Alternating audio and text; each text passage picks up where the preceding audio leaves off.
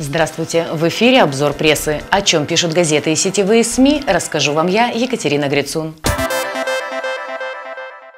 Повторные выборы губернатора Приморского края, которые пройдут 16 декабря текущего года, обойдутся краевому бюджету в сумму более 291 миллиона рублей.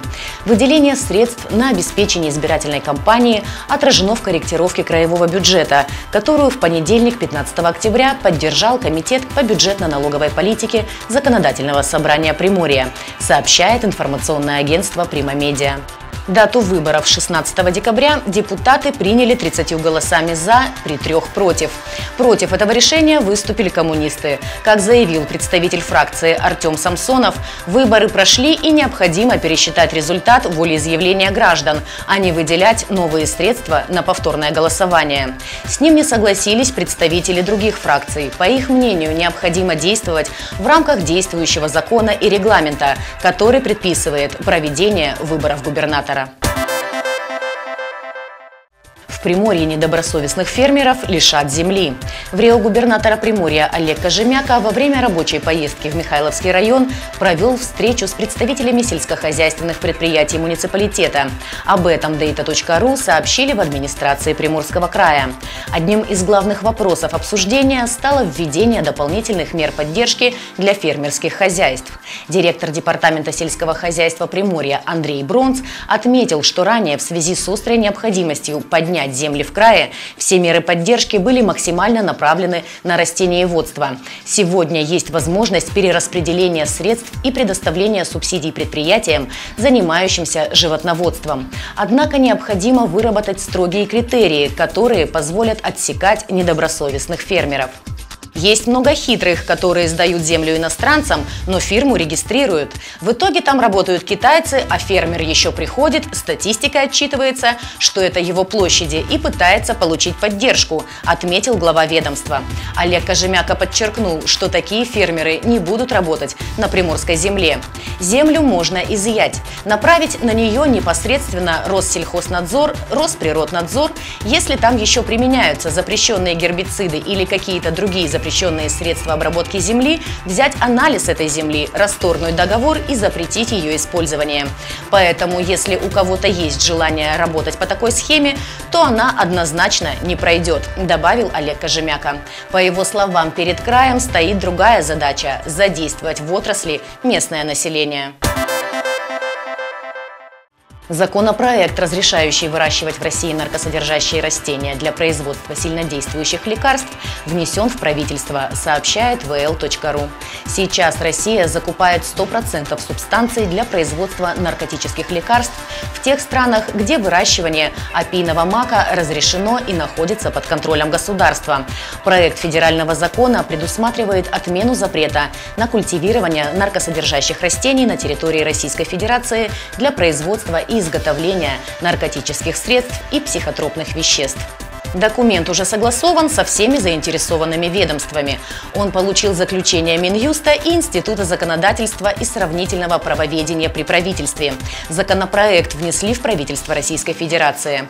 В нем прописан порядок культивирования наркосодержащих растений. Предлагается также определить сорта растений, которые разрешено выращивать для этих целей, и требования к ним. Кроме того, предлагается распространить нормы федерального закона, касающиеся установления государственной монополии и требований к условиям осуществления культивирования наркосодержащих растений для использования в научных, учебных целях и экспертной деятельности, на культивирование наркосодержащих растений для производства используемых в медицинских целях и ветеринарии, наркотических средств и психотропных веществ. Минпромторг ожидает, что уже в 2019 году удастся перейти на отечественные субстанции для опиоидных обезболивающих. Ранее глава Минпромторга Денис Мантуров заявил, что выращивание опийных растений в России потребует 200 гектаров земли на юге страны и позволит на 80% обеспечить внутренний рынок собственными ключевыми фармацевтическими субстанциями.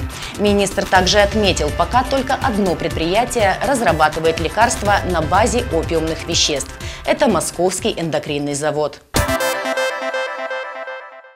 Как сообщает коммерсант, предельная стоимость первого атомного ледокола «Лидер» без НДС и дополнительных расходов составит 98 миллиардов 600 миллионов рублей, которые должен выделить бюджет с 2020 года. Контракт на строительство трех ледоколов планируется заключить с верфью «Звезда», в том числе на головное судно до конца 2019 года, с тем, чтобы начать его строительство в феврале 2020 и сдать в 2027 году. Роснефть согласилась уже в 2019 дать аванс 3,5 миллиарда рублей на нулевой этап создания конструкторской документации, а Минпромторг выделит 950 миллионов на научно-исследовательские и опытно-конструкторские работы по системе электродвижения ледокола. Лидер мощностью 120 мегаватт должен стать единственным ледоколом в мире для круглогодичной проводки судов по Североморскому пути, грузопоток по которому к 2024 году должен достигнуть 80 миллионов тонн. Ледокол сможет преодолевать льды толщиной до 4,3 метра, прокладывая коридор до 50 метров шириной и проводить караваны на скорости 10-12 узлов. Источники коммерсанта оценивали стоимость головного ледокола с учетом всех расходов в 115 миллиардов рублей, серийных на 10% дешевле. Как отмечается в письме Юрия Борисова и Игоря Сечина, привлечение заемных средств на головной ледокол невозможно вследствие высоких строительных и рыночных рисков. Стоимость ледокола может корректироваться по аналогии с Крымским мостом по инфляции. Приморский краевой суд приговорил бывшего главу госпредприятия «Приморский водоканал» Алексея Осиюка к двум годам восьми месяцам лишения свободы в колонии общего режима и штрафу в размере 300 тысяч рублей за попытку обмануть директора лесоперерабатывающей компании на 5 миллионов рублей, сообщает Интерфакс. По данным Краевой прокуратуры, в судебном заседании было установлено, что фигурант дела решил похитить деньги у своего знакомого, компания которого занималась лесопереработкой. Он сообщил директору, что сможет договориться с Департаментом лесного хозяйства края и компанию не привлекут к ответственности за выявленные нарушения. При этом мошенник заведомо знал, что не сможет выполнить эти обязательства. Стоимость таких услуг он оценил в 5 миллионов рублей.